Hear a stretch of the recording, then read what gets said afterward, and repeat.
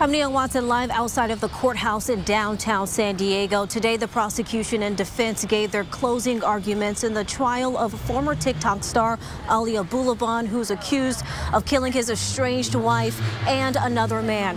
Now, the prosecution drove home the argument that what Abulaban did was deliberate and that he was motivated by jealousy, not a heat of passion case like Abulaban claims. Throughout the trial, prosecutors explained that Abulaban bugged the apartment to catch Ana who he was separated from with another man.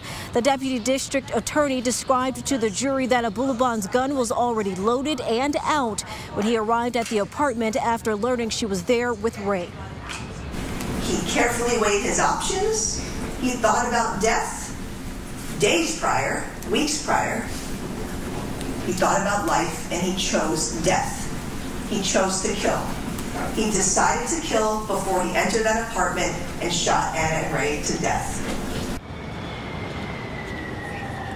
Meanwhile, the defense argued that this is a heat of passion crime, not malicious murder, that Abulaban was provoked by Ana's involvement with Ray, and that he acted under intense emotion, which affected his judgment. Now, if the jury agrees, this would reduce the murders to lesser charges of manslaughter.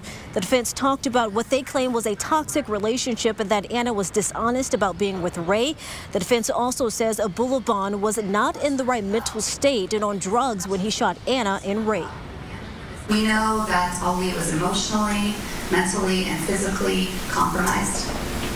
And this is a history that on October 21st of 2021, we see Ali, who is a man that for the months leading up to the day, he was unraveling.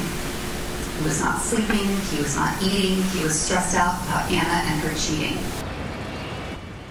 Now, when I left the courtroom about 15 minutes ago, the prosecutor was giving a rebuttal closing argument to what his defense had to say. I'm going to head back up there in a bit and keep you updated on what's going on. For now, live outside the courthouse in downtown San Diego, I'm Neil Watson, ABC 10 News.